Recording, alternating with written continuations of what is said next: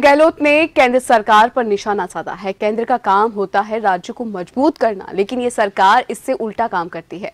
राज्यपाल ने केंद्र से नब्बे से दस पैसों की मांग की, जिसका मुख्यमंत्री अशोक गहलोत ने स्वागत किया। केंद्र की ऐसी नीतियाँ बनानी चाहिए जिससे राज्य मज़बूत हो। पहले सीएसएस योजना में 80 से 20 का रेशियो था। अस्सी फ़ीसदी केंद्र तो राज्य को बीस फ़ीसदी देना पड़ता था। योजना में दस फ़ीसदी जनता से कलेक्शन किया जाना होता है। अभी गवर्नमेंट में 50-50 फ़ीसदी कर दिया गया तो वहीं राजस्थान की भौगोलिक स्थितियाँ अलग है। यहाँ एक गाँव से दूसरे गाँव में दूरियाँ ज़्यादा है।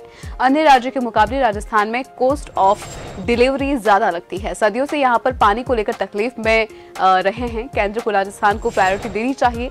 लंबे अरसे से विशेष राज्य की मांग की जा रही है, लेकिन केंद्र पर ध्यान, केंद्र इस पर ध्यान नहीं दे रहा है। राज्यपाल ने जो कहा है, उसके मायने होते हैं। मैं सोचता हूँ कि केंद्र पर राज्यपाल महोदय की बात का असर पड़ेगा। ये कहना है सीएम गहलोत का, और उन्होंने इसको लेकर केंद्र पर निशाना साधा है।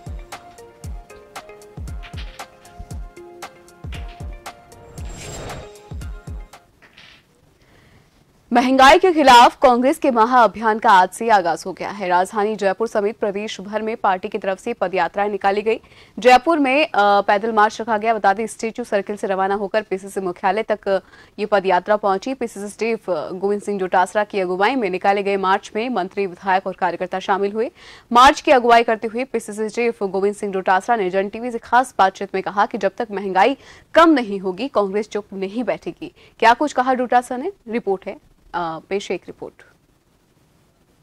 लगातार केंद्र सरकार की नीति रही है एक्साइज को कम करके एडिशनल एक्साइज और सेस को बढ़ाया जाए, जिससे राज्यों को उनका हिस्सा नहीं देना पड़े।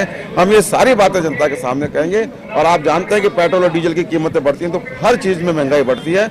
इसलिए हमारा अभियान है, हम प्रदेश की जनता को सच्चाई बताकर एक जागरण अभियान हमने शुरू किया है, जो उनतीस नवंबर तक चलेगा। देश को महँगाई से, बेरोजगारी से मुक्ति दिलाओ। नौजवान आत्महत्या कर रहा है, महँगाई से लोगों का बजट गड़बड़ा गया मैं आज कह रहा हूँ, हम सड़कों पर है। बीजेपी, राजस्थान ने जितने आंदोलन इन ढाई वर्षों में, पौने तीन वर्षों में नहीं किए, उससे ज़्यादा आंदोलन कांग्रेस पार्टी ने जयपुर में और पूरे राजस्थान में सड़कों पर कर दिए। क्योंकि केंद्र सरकार, हमें तो पता ही नहीं चलने दे रही कि हम सत्ता में जो केंद्र सरकार जुल्म कर रही है, हम सड़कों पर, हमें पता ही नहीं चला कि हम पावर में घमंड तो बीजेपी वाले हैं, विपक्ष में वो हैं, लेकिन उनको घमंड, आंदोलन उनको करने चाहिए। वो आंदोलन कर ही नहीं पा रहे, फेल हो गया बीजेपी का नेतृत्व और कांग्रेस रोज आंदोलन कर रही है।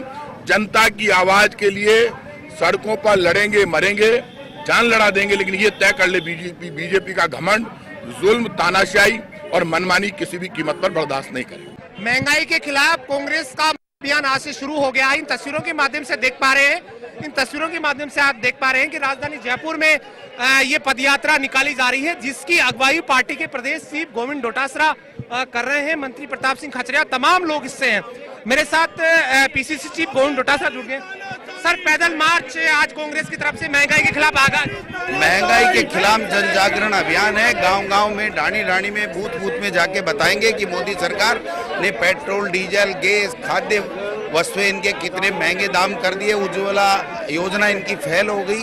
सिलेंडर भराने के लिए गरीब के पास पैसा नहीं है खाने के लिए अनाज नहीं है रहने के लिए छत नहीं है। तो ऐसे में ये महँगाई कम नहीं करेगी तो इनका सुपड़ा साफ़ हो चौदह में वादा किया था अब की बार मोदी सरकार महँगाई कम करेंगे। कोई महँगाई कम नहीं हुई। काट की आंडी दोबारा चढ़ गई तीसरी बार नहीं चढ़ेगी महँगाई कम करनी पड़ेगी। प्रदेश भर में अभियान चलेगा आगे भी? बिल्कुल छप्पन हज़ार बूथों में जा रहे हैं हम लोग। जिनका साफ़ तौर पर कहना है कि ये जो अभियान आज से शुरू हुआ हुआ है, ये लगातार प्रदेश में आगे बढ़ेगा और प्रदेश के तमाम गाँव ढाणी तक ये अभियान पहुंचेगा। कैमरा